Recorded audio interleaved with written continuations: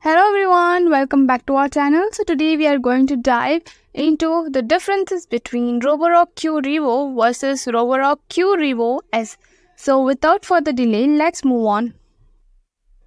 First, let us discuss about its suction power.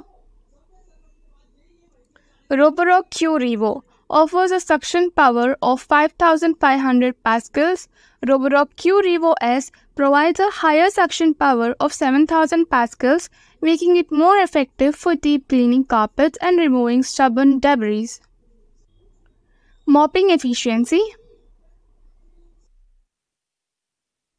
Roborock Q Revo utilizes dual spinning mop pads which enhance mopping efficiency compared to traditional single pad systems. Roborock Q Revo S The Q Revo S may have improvements in its mop cleaning mechanism, potentially offering better results in tougher cleaning scenarios.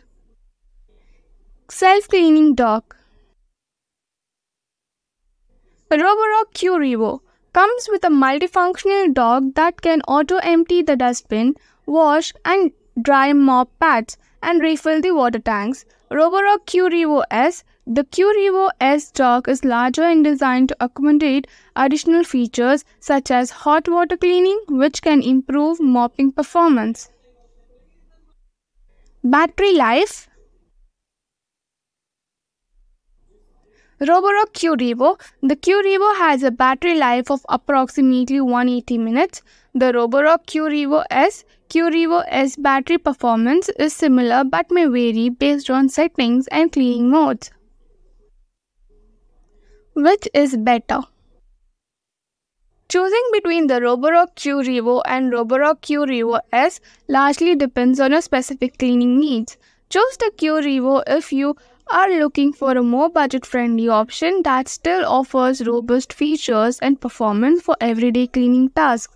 Opt for the Q Revo S if you require higher suction power, advanced mopping capabilities, and enhanced navigation features, making it a better fit for homes with pets or high foot traffic. Both the models are excellent choices in the robot vacuum and mop category, but the Q Revo S provides additional benefits that justifies its higher price points for users needing more intensive cleaning solutions. Thanks for watching. Do like, share, comment and subscribe to our channel.